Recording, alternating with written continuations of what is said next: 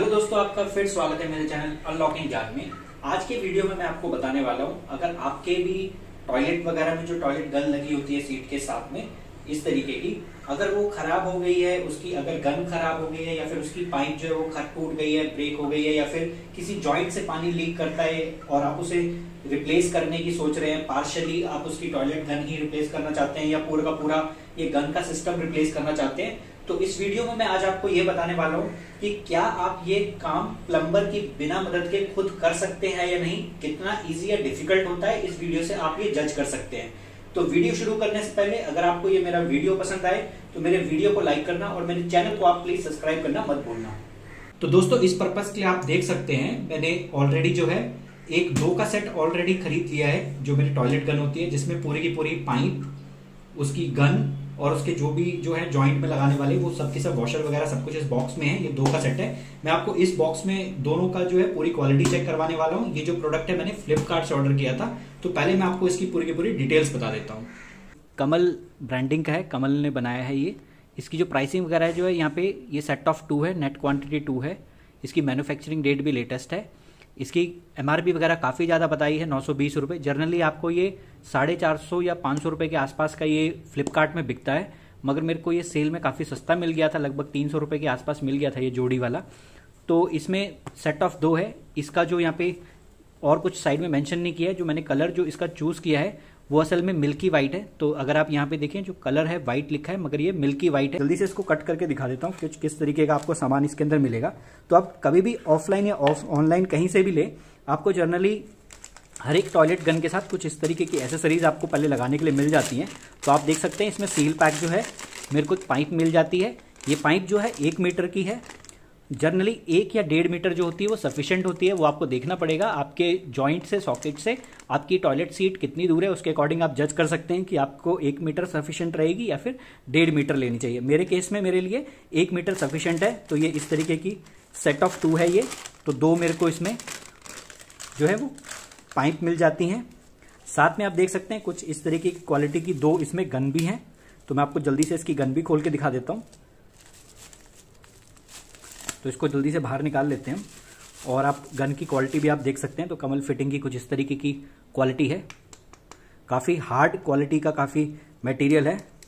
इसका spring action भी काफ़ी अच्छा है। कोई इसमें मेरे को प्रॉब्लम नहीं लग रही। इसके होल्स वगैरह की जो है, वो भी वाइड इनफ है। होता क्या है कि अगर आपका पानी जो है, वो थोड़ा नमक वाला है तो उम्र के साथ ही ज़्यादा छोटे हों तो जल्दी बंद भी हो जाते हैं।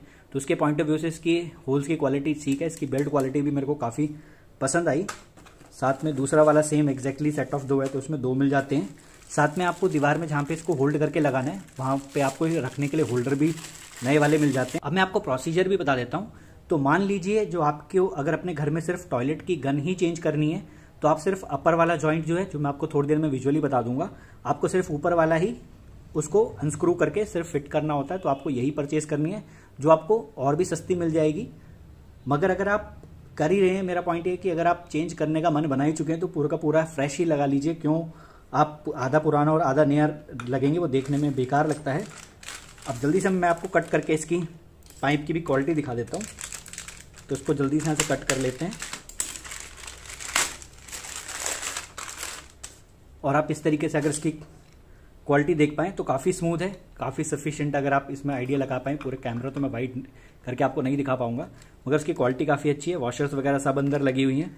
तो करना जो है बहुत ही ईजी रहता है इसका प्रोसीजर आपको करना क्या होता है, एक जॉइंट जो है वो नीचे आपको एंगल कॉक में लगाना होता है, वो मैं आपको भी थोड़ी देर में दिखा दूँगा। और दूसरा एंड आप किसी को, किसी भी साइड लगा सकते हैं। सारे के सारे आप किसी भी कंपनी का लें, सबका प्रोसीजर एक ही होता है। कोई इसमें यूनिक नहीं है, बस आपको सिर्फ़ सिंपली ऐसे करके, इसको कस के ऐसे करके लगा देना होता है। और ये जो वॉल में, जहाँ पे पुराना लगा होगा, वहाँ पे से आप होल्ड करने के लिए ऐसे लगा देंगे। तो एक स्क्रू ड्राइवर चाहिए होगा अच्छा थोड़ा सा बड़े वाला। वो भी मेनली इसलिए क्योंकि आपको यहाँ का जो होल्डर है, वो आपको रिप्लेस करना है तो उसका स्क्रू पुराना वाला खोलने के लिए या फिर अगर आपको तोड़ के निकालना तो आप हथौड़ी से आराम से कर सकते हैं। मगर आपको हमेशा ध्यान रखना है कि वहाँ पे टाइल लगी होती है तो कभी भी आप जो है टाइल वगैरह के साथ अगर तोड़ा ताड़ी करेंगे तो वो क्रैक हो सकती है तो आपको वो अपने रिस्क पे बड़े ध्यान से करना पड़ेगा। इसलिए मैं सेफली स्क्रू ड्राइवर से पुराना वाला पेज जो है ऐसे करके खोल के उसे निकाल के नया वाला वहाँ फिट कर दूँगा। अगर आपका पुराने वाला अच्छा लगा है जो सेम कलर का है, जैसे आप देख सकते हैं, यहाँ पे मेरे पास पहले ऑलरेडी मिल्की व्हाइट वाला लगा है तो मैं उसको भी रहने दे सकता हूँ और नया वाला इंस्टॉल कर सकता हूँ। तो ये सब आपकी मर्ज़ी, आपको ध्यान देना है।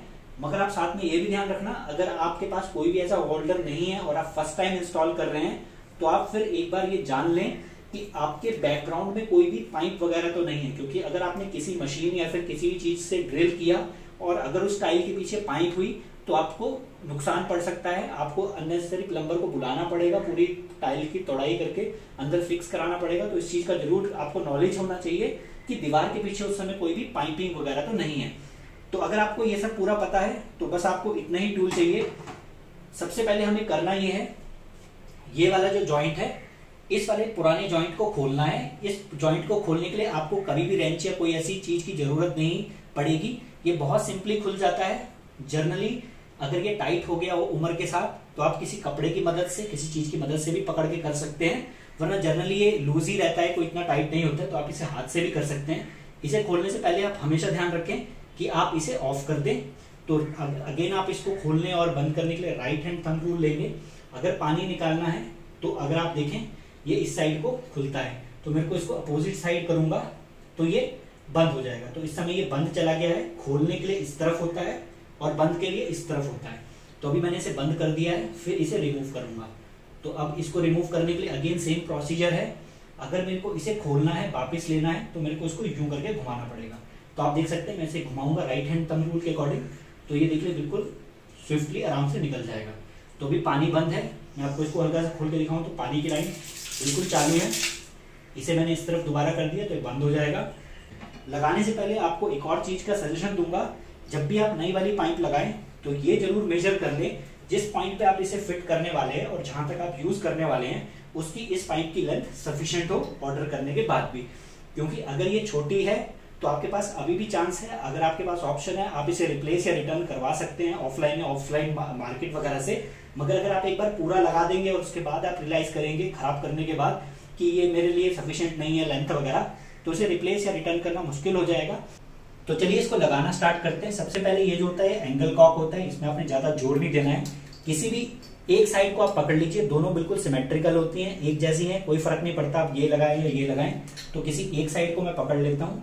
तो मैंने ऐसे करके पकड़ लिया, अंदर इंश्योर कर ले, जो भी इसकी कंपनी ने मैन्युफैक्चर करके वॉशर वगैरह दिए वो ज़रूर वैसी की वैसी लगी हो, इसे मिस मत करना, वरना यहाँ से जॉइंट से पानी निकलता रहेगा। तो इसको लगाना बिल्कुल आसान है, बस आप स्विफ्टली इसको आराम से उसी सेम लोकेशन पे वैसे ही रख दें और इसे कसना चालू कर दे तो बहुत इजीली है। आपको कभी भी प्लास्टिक की किसी भी एसेसरीज वगैरह में रेंच वगैरह का यूज़ नहीं करना है। प्लास्टिक टूट जाता है, ये हाथ से बहुत आराम से लग जाता है। इसमें कोई भी इतनी ताकत वगैरह लगाने की ज़रूरत नहीं है।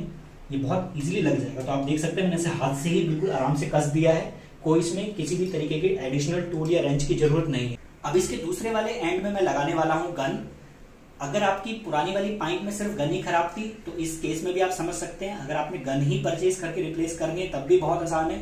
आपने सिर्फ़ खोलना है वहाँ से ज्वाइंट से, और नई वाली गन को लगा देना है। अब मैं इस केस में नए वाले को लगा रहा हूँ। ये भी आप एक्जेक्टली बिल्कुल वैसे ही इंश्योर करेंगे। अंदर वगैरह कंपनी द्वारा दी गई सारी की सारी वॉशर वगैरह पहले से लगी हो। उसके बाद सिर्फ़ इसे यहाँ पे लगा के, ऐसे रोल करके लगा देना है। और इससे ज़्यादा कोई भी इसमें एफर्ट वगैरह नहीं है। मैंने ये पानी छोड़ दिया है। सबसे पहले आपको हमेशा ऑब्ज़र्व ये करना है, एकदम से नहीं चलाना है। पहले आप देख लें, क्योंकि बिल्कुल सूखा है। कहीं पे भी कोई पानी वगैरह लीक ना हो रहा हो तो इस केस में आप देख सकते हैं, बिल्कुल भी पानी लीक नहीं हो रहा है यहाँ पे। सेम आप यहाँ पे भी जोड़ में एक बार ढंग से ऑब्ज़र्व कर लेंगे कि आपके कसने के बाद आपने सफिशियंट कसा है कि कहीं पे भी पानी वगैरह ना आ रहा हो। इस केस में बिल्कुल अभी भी पानी नहीं आ रहा है। यहाँ से यहाँ से इसके जोड़ में यहाँ से और यहाँ से। इन चार जगहों में हमेशा इंश्योर करना है कि यहाँ से लीक ना हो रहा हो और जोड़ से, वैसे ऊपर से और यहाँ पे नीचे से। अगर नहीं हो रहा है तो ये बिल्कुल इंस्टॉलेशन डन हो चुका है। अब आप देख सकते हैं, पानी का प्रेशर कितना इसमें तेज आ रहा है। तो ये पूरा पूरा इंस्टॉलेशन हमारा हो चुका है, ये सक्सेसफुली तो आप इस वीडियो से समझ पाए होंगे, इस तरीके का अगर आप खुद भी कुछ ट्राई करना चाहें, ये बहुत ईजी होता है। आपको किसी प्लम्बर वगैरह की इन छोटे कामों के लिए कभी भी ज़रूरत नहीं है।